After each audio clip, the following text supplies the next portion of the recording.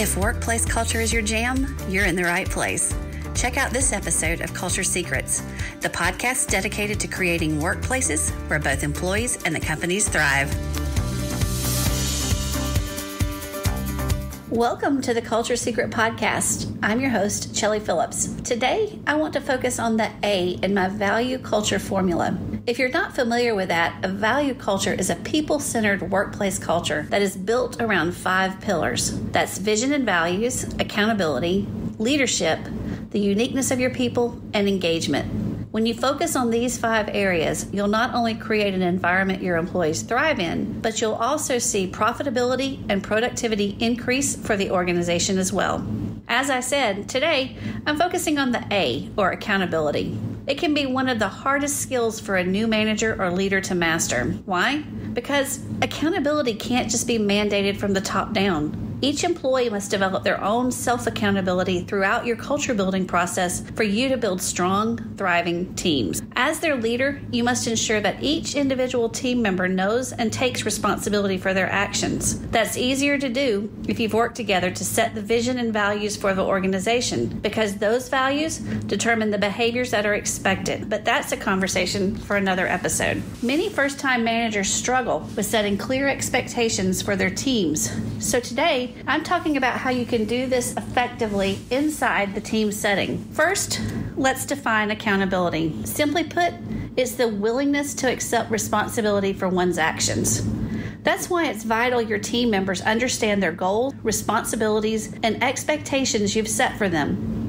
Your job is to show each team member what it looks like and help them understand you'll be supplying feedback on how well they're accomplishing those things. Before we move forward, are you demonstrating your own accountability in the workplace? Are you completing tasks that are assigned to you on time? Do you support your team when needed and help champion them to success? When you schedule meetings, do you respect people's time by showing up prepared? Do you take ownerships of problems and help find solutions? Or do you sweep them under the rug and assume the issue is being dealt with by someone else? If you had trouble answering these, you need to do some individual work on accountability before moving forward with team activities. However, if you feel your accountability meter is maxed out on the positive side, then let's look at the team aspect of accountability. So, how do you know if accountability is an issue on your team? One easy way to check is ask yourself Do we miss deadlines?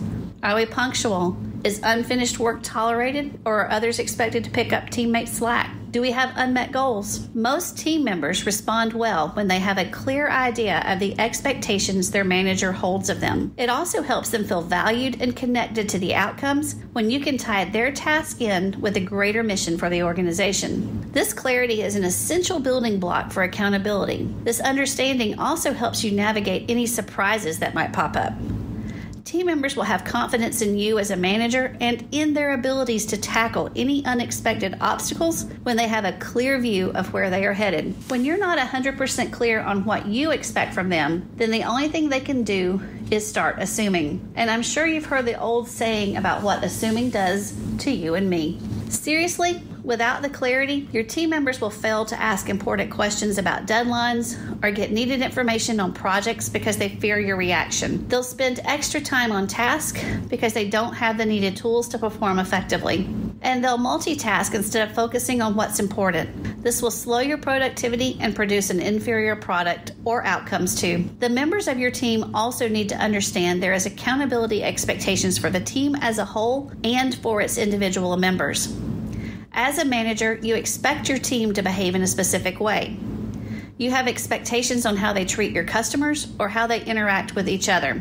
Then there's the individual expectations that change based on levels of responsibility. Gary Ridge with the WD 40 Company shared his thoughts on accountability with me as I was writing my book, Culture Secrets. The first thing is to define what they're accountable for, he said. Most people let people down because they haven't defined what we hold each other accountable for. Accountability is about buying into the whole, not weighing in on the pieces. Everyone must be invested and committed to a shared vision to achieve their collective goals. In my book, Culture Secrets, I interviewed Daniel Lawrence. He's the founder and of a tech startup called Bots for That, located in the UK. I asked him about the importance of accountability, and this is what he told me. Everyone needs to be equally accountable if they're going to succeed. We have our annual strategy and we have a quarterly plan. That quarterly plan gets very, very tangible and very, very practical. The outcome is that everyone has some part of it in delivering it. If any one of us misses, we all miss. It's joint accountability. So much as if two of us fail, well, guess what? We all failed. If I don't get the deals in and get them signed, it fails and I fail and there's no money around to go around for extra bonuses. If we don't finish projects on time, we don't get the money, and there's no money for bonuses. All these things are very collaborative and all joined up closely. We all know that we're all got to succeed for us to all succeed. There's no I did okay. We either all fail or we all succeed. Accountability isn't about placing blame, it's about personal ownership. Taking ownership must become a discussion, even when nothing is going wrong. Too often, we only discuss accountability when there is a problem or we're looking to place blame somewhere. That's why team members need to understand their implications and consequences for the actions they choose. If you, as a leader, haven't properly articulated what the consequences are for not following through, why would they take you seriously? Your job as a leader is to turn accountability from a negative perception to a positive one. Moving everyone to a point where they see accountability as a personal value will take time, but it can be a great tool for growth and development that will lead to overall improved business performance. Just because you tell team members to do something doesn't mean they will unless they're bought into the value that it has to them as an individual. It's also easier to receive that buy in when they say you leading by example. Here's a few suggestions that you can use to show your team as their leader that accountability starts at the top and you're committed to embracing the idea of a 360 degree accountability model. First, invite feedback from others on your performance. Second, Work on how you provide feedback and remember to not only provide the negative, but include positive feedback as well. Three, be truthful. Do what you say you will do.